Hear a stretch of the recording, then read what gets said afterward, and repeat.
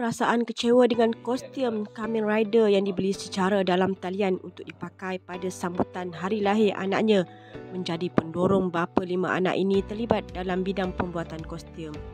Tanpa sebarang pengalaman, Muhammad Rostan Hassan mula mencabar dirinya untuk mencipta satu set lengkap adiwira sekitar tujuh tahun lalu. Ya tu. Start pada situlah. Lepas waktu barang tu sampai, memang saya tak pakai. Saya buang terus. Kemudian esok-esok tu saya terus Google, saya cari macam mana. Sebab saya rasa bila saya barang tu sampai, saya tengok, saya rasa uh, saya cakap dalam diri saya, kalau aku buat rasanya boleh buat lagi baik pada ni lah rasanya kan. So saya belajar, saya Google, saya cari. Kemudian saya order bahan-bahan tu. Bila sampai tu, saya cuba buat, uh, tengok daripada YouTube. Uh, kalau yang mana tak tahu tu, biasa saya tanya dalam YouTube tu lah, biasanya dia orang akan reply lah. Uh, macam mana nak buat apa semua kan.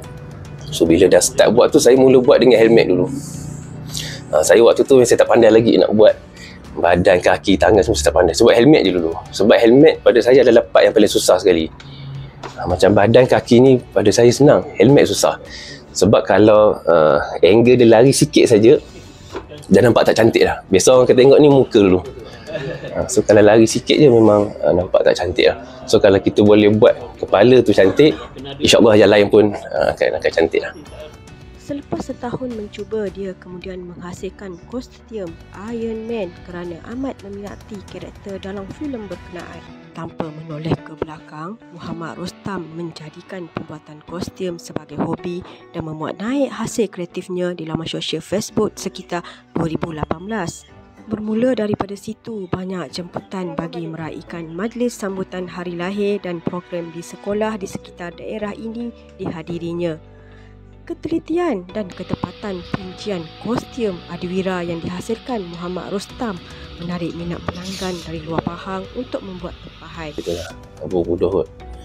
Hmm, tak ingat lah. Tapi, sebab bukan... Ada Iron Man lah.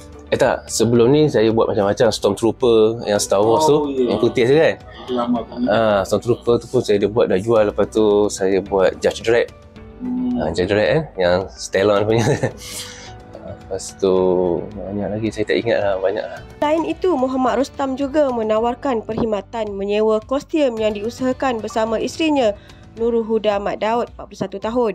Katanya mereka kini memiliki kira-kira 300 kostum merangkumi watak adiwira filem, komik, manga dan juga cosplay yang disewa dengan harga bermula 30 hingga 200 ringgit.